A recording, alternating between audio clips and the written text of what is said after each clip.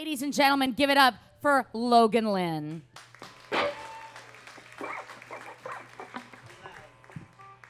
Hey, everybody.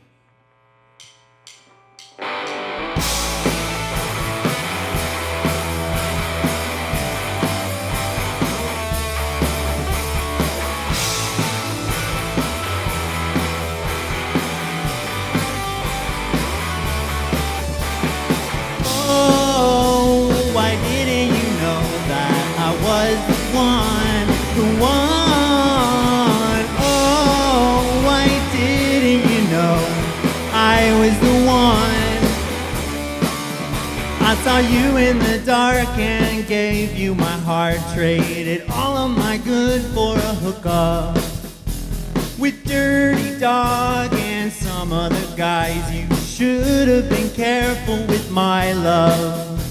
But what did they mean so much? I wish I'd been harder to give up.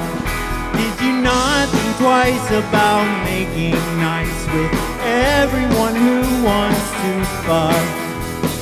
Oh, why didn't you know that I was the one, the one?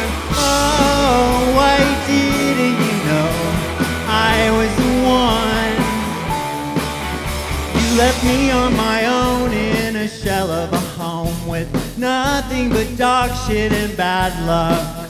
For a stranger's touch and a mountain of lies that were taller than me when stacked up.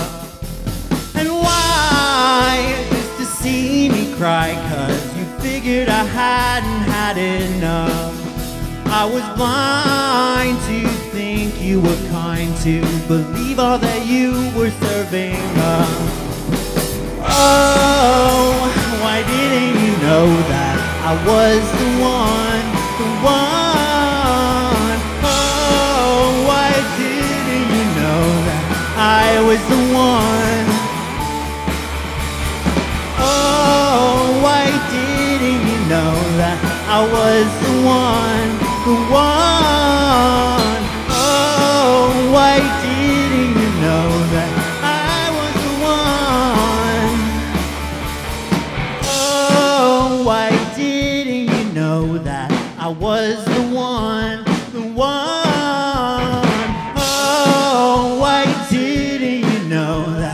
was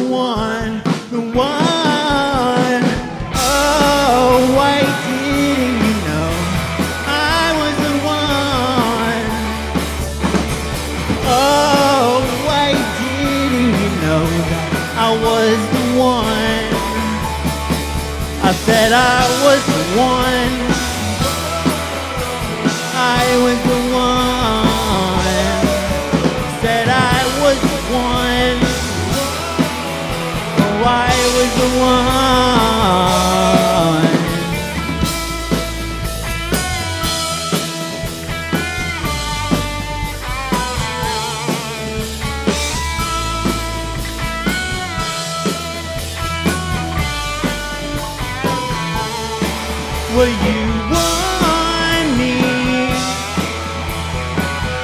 but you want me to go. You want me, you want me to go. You want me, but you want me to go. You want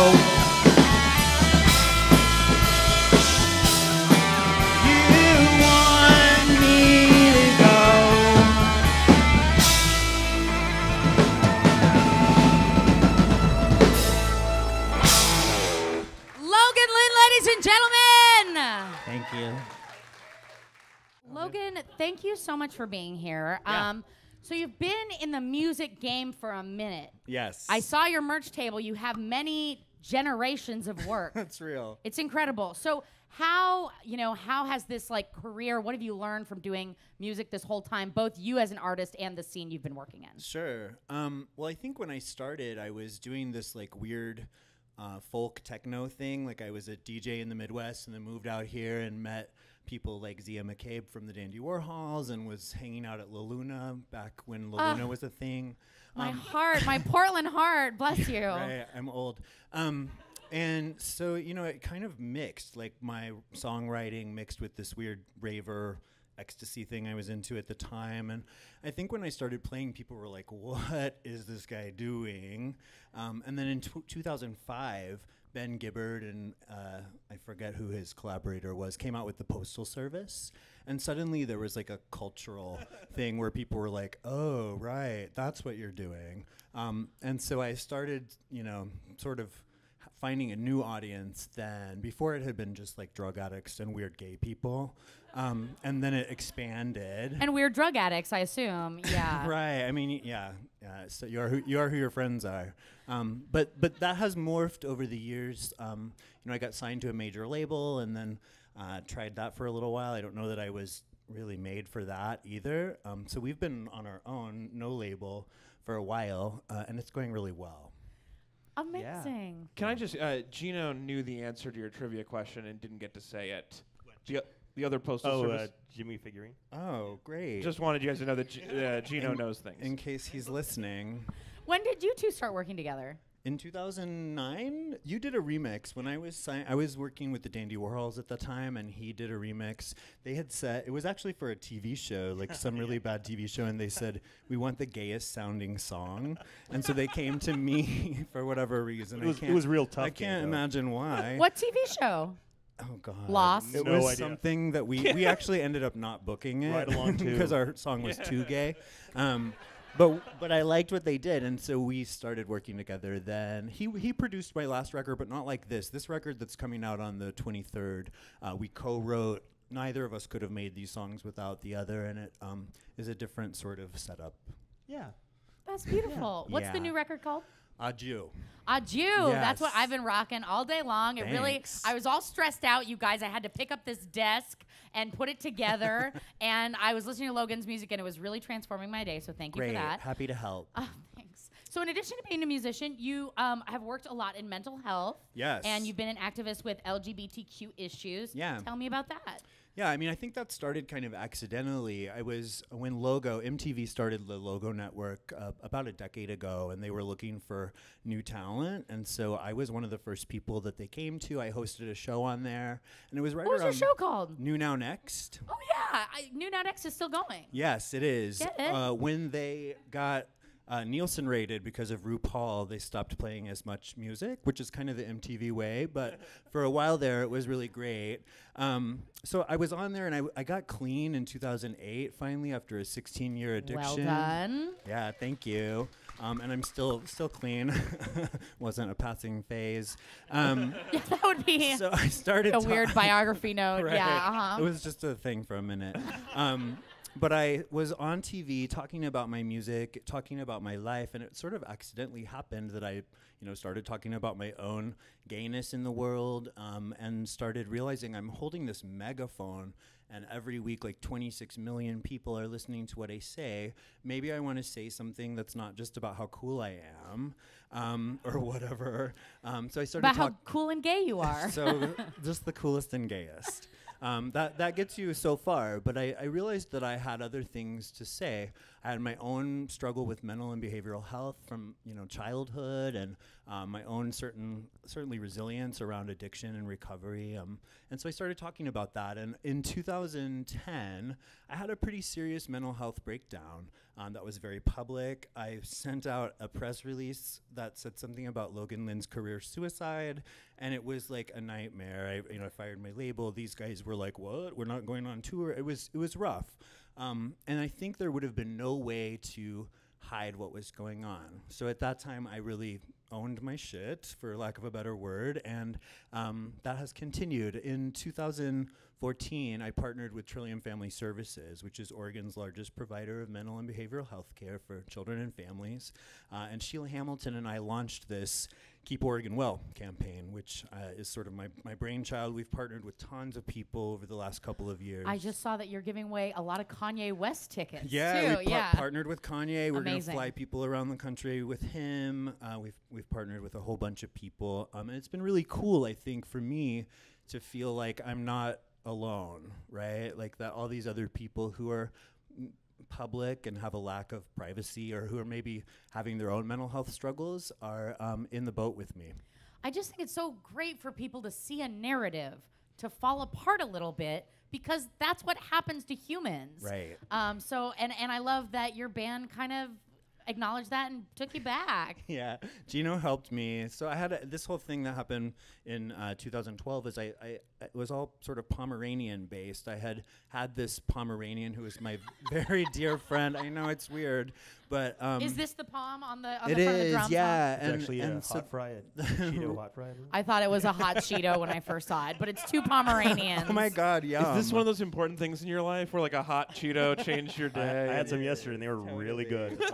So- So I um I lost that dog and I had a real hard time with that. I you know he had been with me through my getting clean. It's a really funny story, I know, but um, I I wrote a record accidentally. You know I was having this mental health crisis and and managed to. Um, say things into my phone in my voice notes. There were 500 of those notes, some of which were melodic, some of which I was just screaming and crying. A lot of it was incoherent, but but I managed to, with this guy's help, make arrangements and and put them to song. And so this this this record that's coming out later this month, and we actually don't tell my publicist, but we have copies of it here that we're gonna be giving out later. But Pre-release. um, What you mean this one right here? Hey, that's it. Leak That's it on the internet. so we were able to make something, you know, I think positive out of this struggle and and the idea around the record was to start a conversation to um, let people know that uh, you know you can have this experience you can be depressed you can have persistent suicidal ideation whatever it is and you can also be successful. And in that neurodiversity like my brain works a little differently and we were able to harness it into something kind of good i think. That is So yeah, right now, amazing. Extremely moved by you, Logan. You're beautiful. Thanks. Um, I am. I am now that I know your story a little bit more. Yeah. I'm seeing um, your cover a little bit differently. Right. Because before I was like, oh, it's a cute dog licking. oh what a cute hot Popsicle. cheeto well, I mean, my pets are great too, but Right. um, and yeah. love is love, right? love I mean, is love. Munchy love is real. Um, but that's this is this is a real cover. So check Yeah. that out. Even if you don't um, necessarily buy something, I mean, you should buy something. But um, or or you support the artist, follow them. Um, we, we really appreciate you. Any so your your album drops soon. yeah. What it's called Adieu. Can we buy it everywhere? Should we buy it online? When do you where do you get the most money? Uh, Bandcamp, my website, loganlynnmusic.com. Bandcamp. Yeah, okay. and, the you know, record. and honestly, it's uh, we have videos out. I think uh, what we want is for people to uh, not feel so alone in, in the struggle. So and keep Oregon well. yeah, keeporegonwell.com. We're always we're everywhere. So. And Trillium Family Services, which is um, you know a great service to Oregon. so- Totally. Amazing. All right, Logan, we're gonna have you do another song with Gino and the rest of the gang. One more time for Logan Lynn, ladies and gentlemen. Thanks, everybody.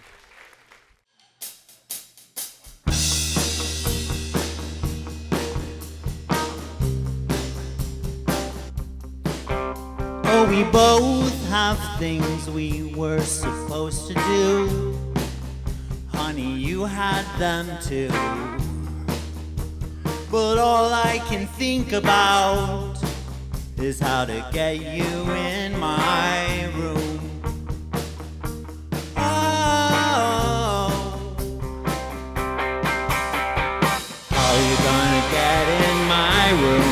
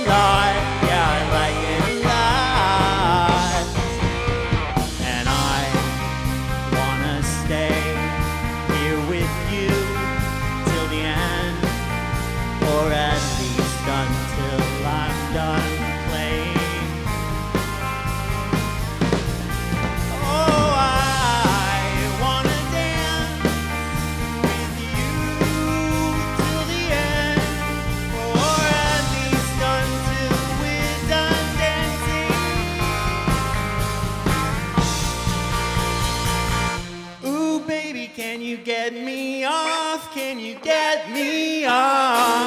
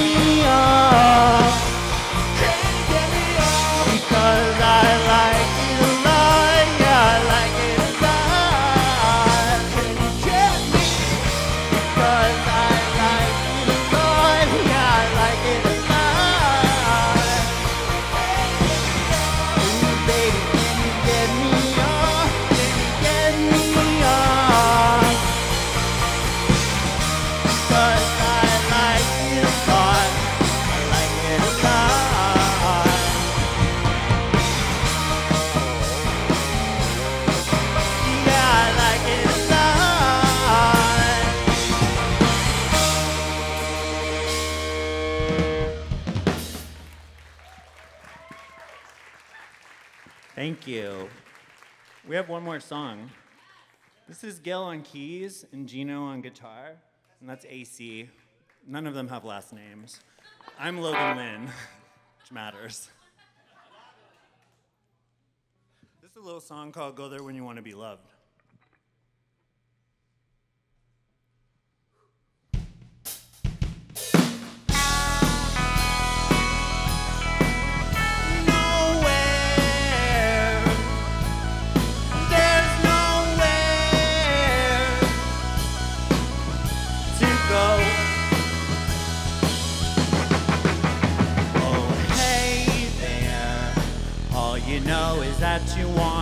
Play there. All you know is that you wanna stay there. All you know is that you wanna slide down, down to the ground.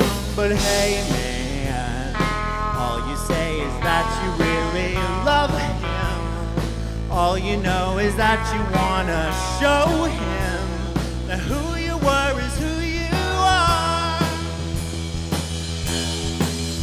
So I say, hey there. All I know is if you wanna stay here. All I know is that you've got to go now. Go there when you want to be loved. Go there when you want to be loved. Go there when you want to be loved. Go there when you want to be loved.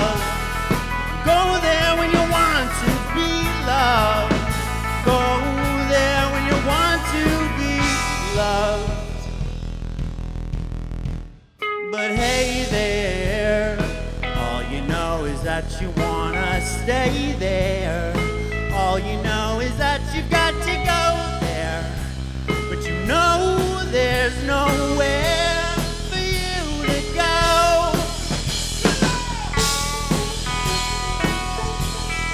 There's no